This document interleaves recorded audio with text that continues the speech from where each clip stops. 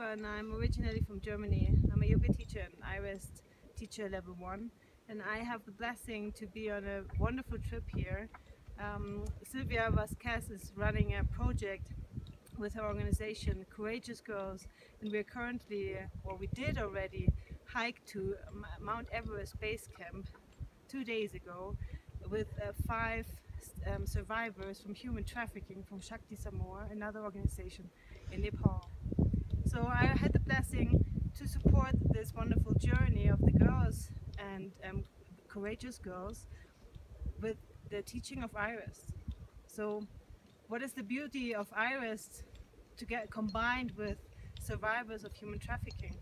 Um, what I experienced here is we are working since roughly one and a half months now with this group of girls and um, we give IREST sessions with them so we have a Nepali audio CD we're using and also I uh, try to give them a little bit more of a um, insight into the protocol of iRest, so sun, Sankalpa with the inner resource, etc. Also the body sensing, welcoming, to the point of joy and awareness.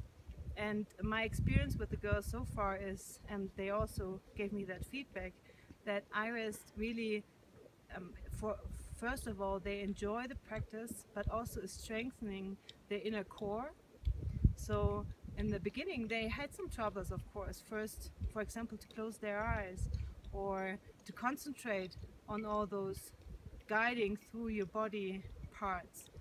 But the more and more they practice, for example, here during the hike, we do it nearly every night, or we try um, on spe special spiritual places in the mountains during the day, we try to have a little IREST session.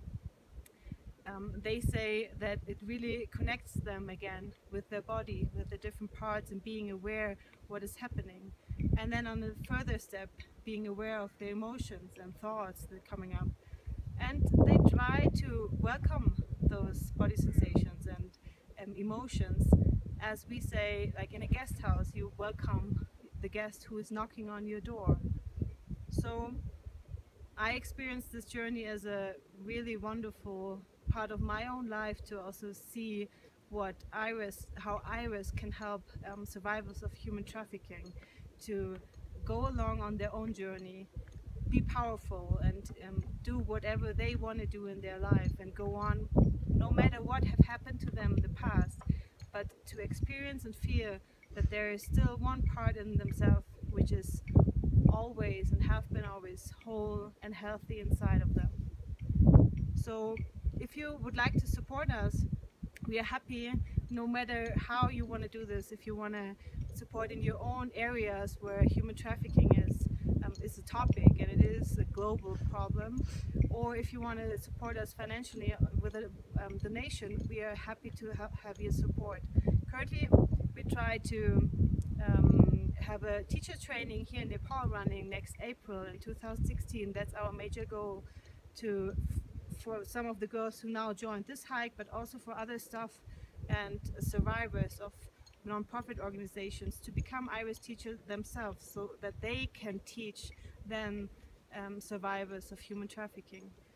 And we want to go from Nepal to India and to the rest of the world. So it's um, the first step now here and um, I'm very happy and blessed to volunteer at this project and to set the first stone um, and the rest is up to all of us. So I'm happy if you would um, love to help us and support us.